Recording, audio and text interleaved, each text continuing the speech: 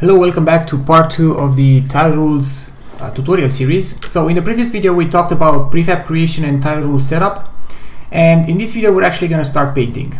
So make sure you have the tile rules uh, tool button active here in the inspector and uh, then you need to create a tile rule grid um, in which you're going to be painting tiles. So we have this tile rule grid creation settings here and uh, the first field that we have to fill in is called tile rule profile. And this is the profile that we created uh, in the previous video, which is called ms underscore dungeons. So let's go ahead and um, select it.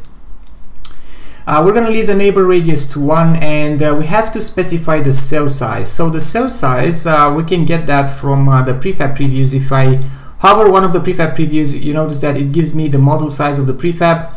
Uh, in this case, it's 434. Now, uh, it is important to pick a prefab that doesn't have any decorations on the sides, such as railings and pillars that we have in this case. Uh, and so I picked the uh, TR Cross prefab, which sits in the middle, which doesn't have any decorations. So I'm going to go ahead and say uh, and, and write 434. All right, then I'm going to give the grid a name, and I'm going to call it Dungeon. And I'm going to click on Create Grid. Okay, now once I do that, we get this uh, grid in the scene and we also get this object in the hierarchy view called dungeon. Yeah, this is the grid that we created.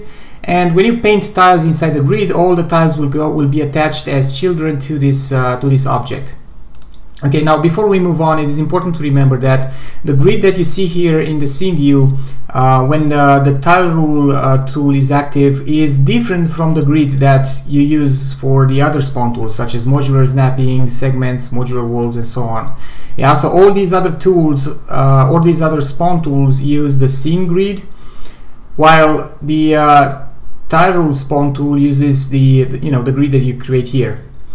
Alright, now, uh, you can see when I move the mouse, we get this uh, nice little green box. This is our brush, and if I hold down the left click mouse, uh, left, if I hold down the left mouse button and uh, move the mouse, we can actually paint tiles. Okay, now let's talk about uh, all the different tools that uh, we have at our disposal here and the different types of brushes that are available. So the first tool that we that we can use is called Paint, and this is the one that we've actually just used. Uh, then we have ramp paint, which is a special kind of paint tool that allows you to paint ramps. And uh, we have uh, we have erase, uh, which allows you to erase tiles. And finally, we have connect. Okay, now um, we're going to talk about ramp paint and connect in, a in, in, in another video. Uh, now let's talk about the different brushes. So for the paint and erase tools, we have three different types of brushes that we can use. Uh, the first brush is called the box brush, and it's uh, it's this uh, little uh, green box that uh, we've been using so far. Uh, left click to spawn, or just hold down the left mouse button and drag. you can also hold down the control key and use the mouse scroll wheel to increase the size of the brush. Um, you can hold down shift and scroll to increase the height and finally, you can uh, hold down Control Alt and scroll in order to offset the brush along the y-axis, right? Now, um, also another useful thing to do uh, in order to change the y offset is to hold down Control Alt and left click in order to pick a height value from uh, from the uh, from one of the tiles. You can also, um, so for example, if you set the height to quite a large value. If you want to go back to the grid, if you want to uh, make sure the brush resides on the grid, you can hold down Control Alt and left click on the grid, and that will push it back.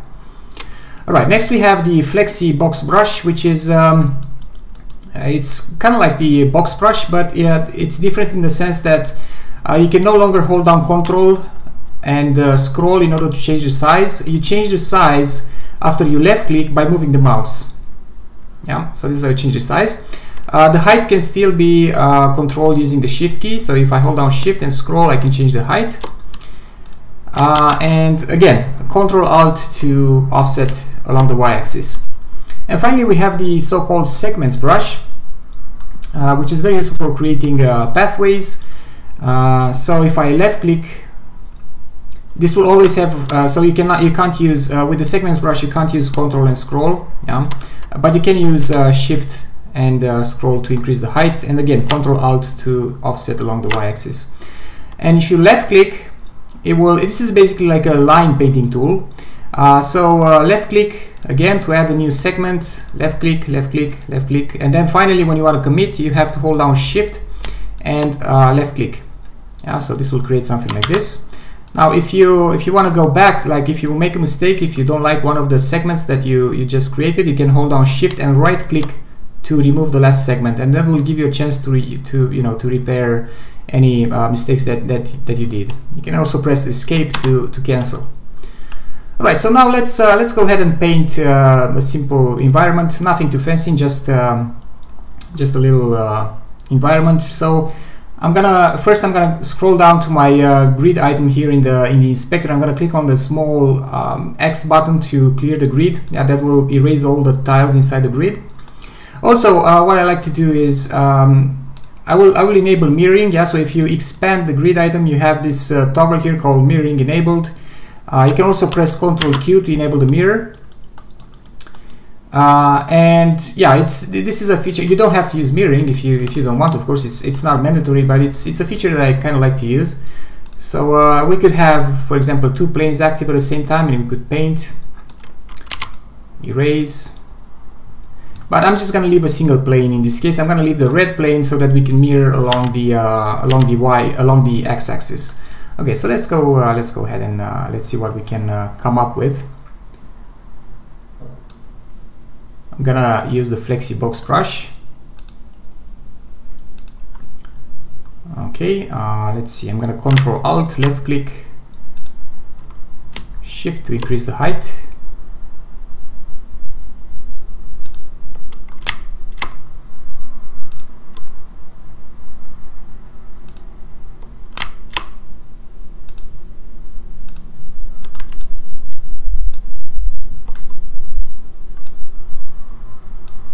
Okay, now let's uh, erase some of these guys.